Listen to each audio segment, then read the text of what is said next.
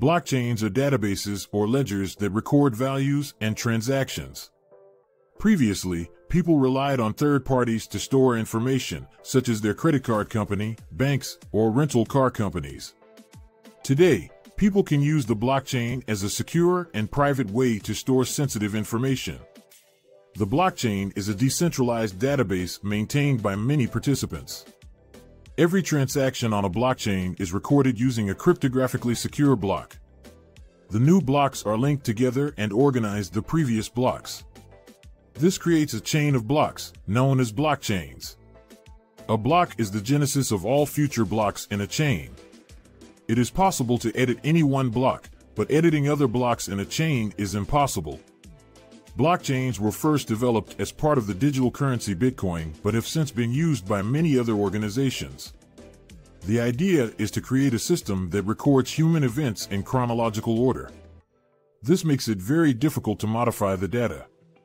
Big companies, governments, and music companies have begun to use blockchain technology in their software. Blockchains can process millions of transactions per day, and their blockchain technology is still in its infancy. Currently, the two biggest networks can process 1.3 million transactions per day, and each block can hold up to 1 megabyte of data.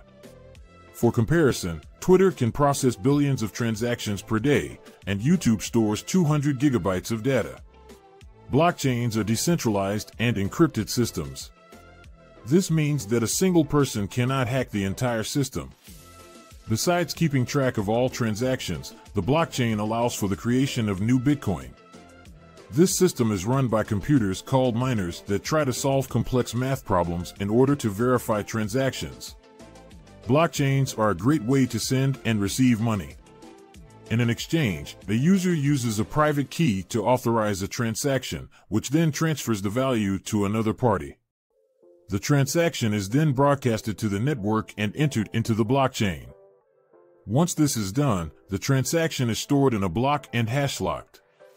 Blockchains are divided into two main types, public and private. The public blockchain allows any computer with internet access to join.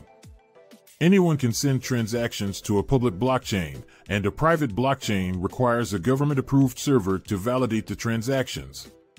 Private blockchains are more secure and are used by most governments and corporations.